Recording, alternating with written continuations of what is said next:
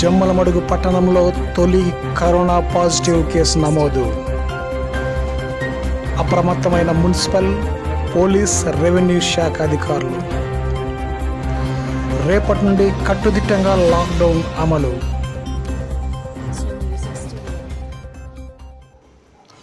జమ్మలమడుగు పట్టణంలో తొలి corona case నమోదు కావడంతో మున్సిపల్ పోలీసు రెవెన్యూ శాఖ అధికారులు అప్రమత్తమయ్యారు.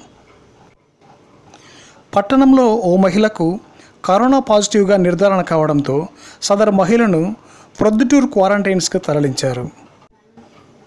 కరోనా సోకిన మహిళ ఇటీవల పూణే నుండి జమ్మలమడుకు వచ్చినట్లు తెలుస్తోంది.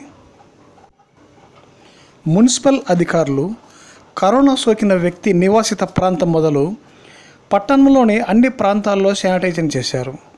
మున్సిపల్ అధికారి నూర్ బాషా శానిటైజేషన్ పనులను తమ సిబ్బంది ద్వారా దగ్గరుండి నిర్వహించారు. శనివారం రాత్రి ఏడు గంటలకే జమ్మలమడుగు పట్టణంలో అన్ని షాపులు దాదాపుగా మూసివేశారు.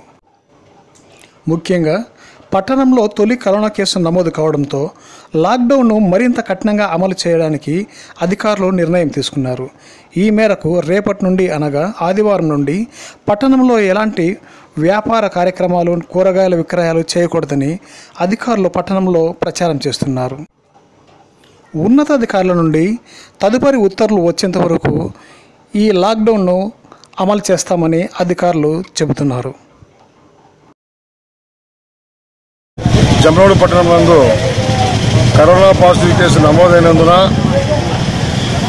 రేపటి నుండి ఎటువంటి హోటళ్ళు కానీ వ్యాపారాలు కానీ అన్నీ అన్ని షాపులు తదుపరి ఉత్తర్వులు వచ్చే వరకు కూడా ఎవరు షాపులు తెరవకూడదు.